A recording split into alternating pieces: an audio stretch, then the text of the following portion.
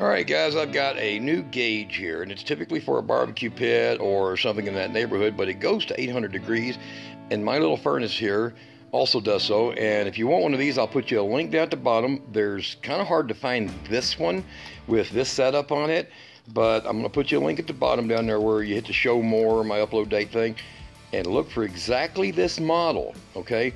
And it's a little different than the regular barbecue pit ones. Look how long it is, see? So it really gets in there and gets a sense of the heat. So let's go here right quick and I'm gonna show you what I'm doing. On my big heating unit, this is the big heating unit that uses used motor oil or um, transmission fluid or anything with a flash value. So if it'll burn, it'll go in here. And this little gauge here is a thermal gauge and it just, you drill a hole for it, uh, I'd say probably about 7 16ths um, or 10 millimeter and you drill a hole for it and just install it. Don't put it directly in the fire zone. Put it above it a little ways but it'll give you a pretty good idea of your heat temperature. And mine is going to be close to the fire probably about four inches from the tips of the fire general tips of the fire and we're installing it right up here. So we're going to be putting this gauge right through right there. I'm going to go ahead and get a hole drilled put it in and then we're going to fire this big heater up. You've seen it in my other videos. Go back if you want to see how this thing was built. This is that uh, shop heater shut down and all that. This is a shop heater unit that I built that's been working perfectly for all these years. We're going to be upgrading this really soon, so this is part of it, and uh, add an additional pipes and blowers to it because it's very efficient, but we want to upgrade it some more. And this is part of it. So let's get this drilled and put in and we'll go through a fire up. All right, now we've drilled it by using progressively upstaging the bits. So I started with a quarter, went to a 5 16ths, and then drilled it with a 7 16ths to get the size. And I've got this ready. So it's just got a little wing nut on the back and just taking off the wing nut and the washer because you put the washer on the inside and taking off the wing nut and the washer we will be able to slide it in so, the way that this is, you see the hole up here, it's kind of dead center above my door, okay? And we're gonna put this in just like that. See what it's gonna look like right there? And then we're gonna add the washer and the wing nut on the back, tighten it up firmly, don't over tighten. Let's get that in right quick. All right, now we have it mounted and it's pretty simple setup, not very drastic. You see it just mounts flush right on your can there on your heater. Pretty good size. This one is hard to find. Uh, like I said earlier, uh, the link will get you to this one and it's kind of hard to find because look how big it is. It's easy to read from a distance. I mean, it's it's sizable. Look at the drill. Most of them you get are only about an inch and a quarter. This one's two and a half plus. I think it's, uh, I don't know, 23 millimeter or something, but it's two and a half inches plus. So it's very good size, easy to read. We're gonna go ahead and start this process. Go ahead and fire up the heater right quick. And my process for that is simple. We're going to put in the fuel, starter fuel and wash fuel. That's a mixture of mineral spirits and a little bit of diesel. And then we're going to kick in a little bit of oil behind it and then we're gonna just put that oil in a tiny, tiny, tiny drip. So, I mean, look at my finger here. that's, that's tiny, but that's all it takes. So let's do that and I'll show you this next step right quick where I'm just going to use a piece of a paper towel and I'm going to throw it down in here in that in that mix and start it with a torch right there and then we're going to come over here to where I have my timer and fan and on the side of the switch kicks on the blower that's outside. The blower sends air pressure in through here and it creates a vortex using this setup. So we have the fire starting now and we're going to go ahead and increase our fuel in it. All right we got the oil flow still going in. Takes a little bit to get these things up and running good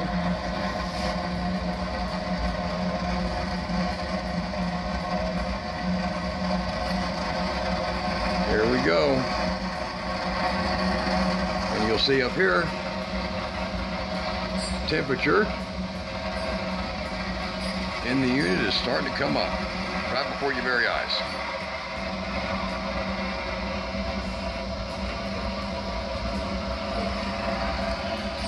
All right, so we're going to go ahead and close door.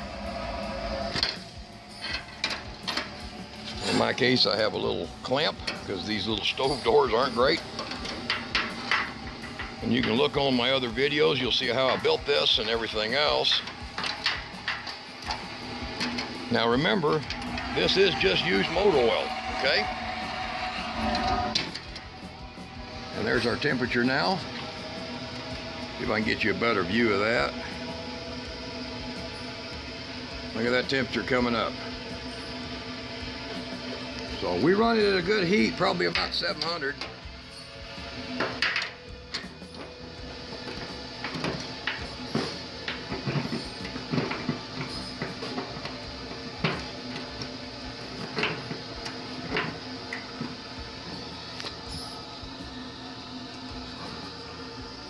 And we have the switch over here, the automated switch that'll turn on the fan units. Well, you'll be able to hear them kick on here pretty quick. See that fan back in there? I don't know if you get a clear view of that. Well, we have a few of them that's already coming on. And our temperature, our normal running temperature is about 6 to 650, so she get, it's getting up there about right now.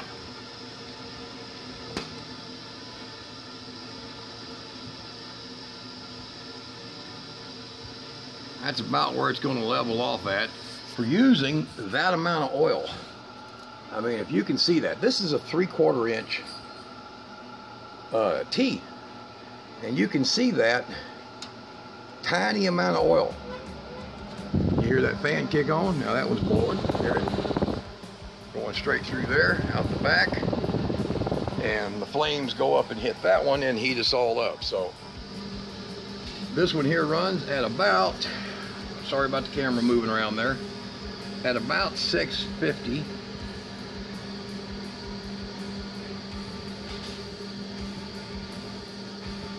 So not too bad for a, uh, uh, a method of keeping an eye on your heat. So well, what the reason for this is we don't want to overdo it. Sometimes some of these oils, even though that is just the size of a mechanical pencil lead of oil flow, sometimes you get some pretty volatile oils and you want to keep it below 700 degrees because one 650 makes this shop real nice and warm. But at a certain rate it gets to burning so hot and so fast that it actually ruins my my catalyst system down in there which is a stainless steel bowl with a catalyst screen out of a Mercedes um, catalytic converter. So it literally, the platinum causes that to, the molecules to explode and we have an extremely hot flame at that point.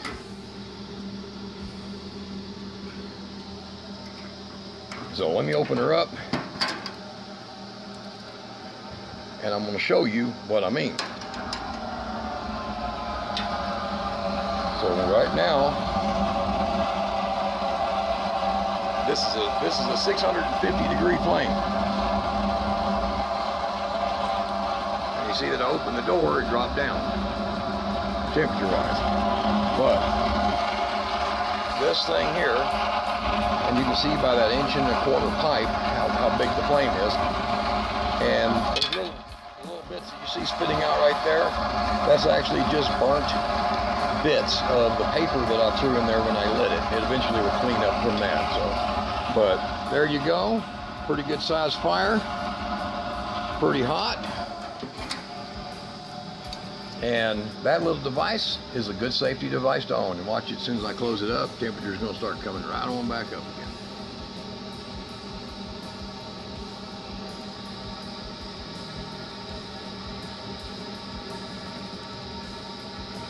All right, guys.